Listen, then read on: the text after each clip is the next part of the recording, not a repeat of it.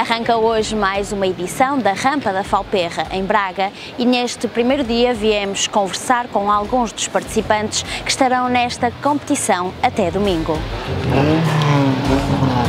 Eu ainda corro na Falperra há seis anos, ainda sou novato nisto. Este carro, eu restaurei-o todo, era o, o, antigo carro do Pedro Melo Breiner e do Nuno Batista.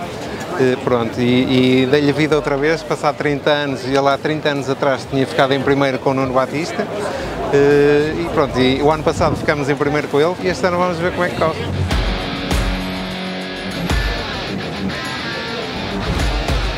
Corro há 5 anos, é a terceira rampa da Falperra que faço. Corro desde 4 anos em kartings, uh, vi que os carros era o próximo passo que tinha que dar. Há dois anos fiz pela Seleção Nacional, a Falperra. Este ano é para a Vitória, como é costume.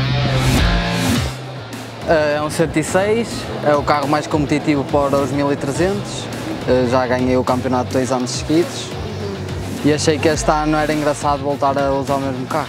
O ano passado não, fui com o Saxo Cup, mas há dois anos e desde o início de 2019 que tenho corrido com. Enquanto puder e tiver possibilidades para fazer, irei continuar.